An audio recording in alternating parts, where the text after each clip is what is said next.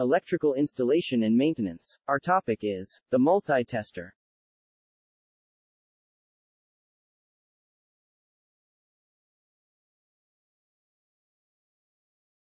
The multi-tester. Introduction. The multi-tester or multimeter is sometimes called the VOM or voltmeter, ohmmeter, milliammeter. It is the best instrument that can measure voltage, resistance and current. There are two types of multi-tester, the analog and the digital multi-tester. The parts of the multi-tester.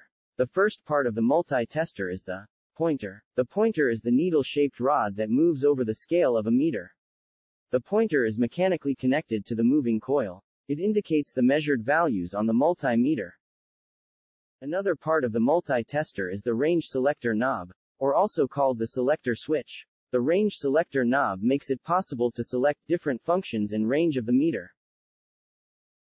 The next part of the multi-tester is the adjustment screw. The adjustment screw makes it possible to adjust the pointer to the zero position of the scale.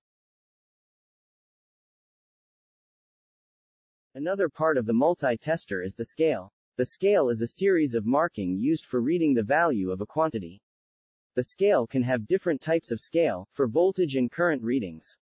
The scales have mostly, linear, which means equal division. For resistance, test probe positive, or red and the negative or the black is used to connect the circuit to the electrical components being tested. The zero ohm adjusting knob is used to zero in the pointer before measuring resistance. The multi-tester.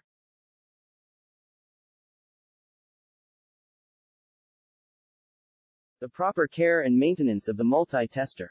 Number 1. Read the manual of instruction on how to operate the multi-tester. Number 2. In reading the amount of voltage, always start with the highest range to avoid reading voltage higher than the tester setting.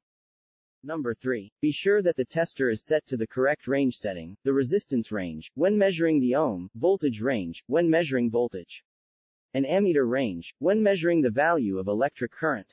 Number 4. Always check the condition of its battery. Worn out batteries will damage the internal setting of the tester.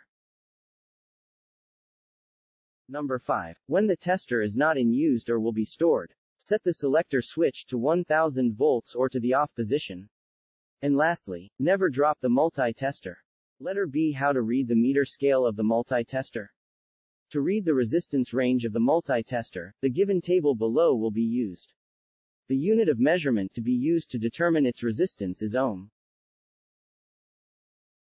The following are the examples.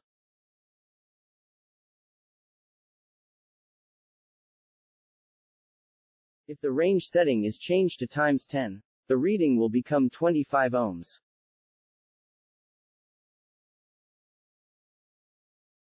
Voltage scale. If the range setting is 10 volts, the reading is 4.4 volts. The first figure, the range setting is 50 volts. The reading is 24 volts. In the second figure, the range setting is 250 volts. The reading is 110 volts. This is Teacher Mylene. Thank you for watching, and please subscribe to my YouTube channel.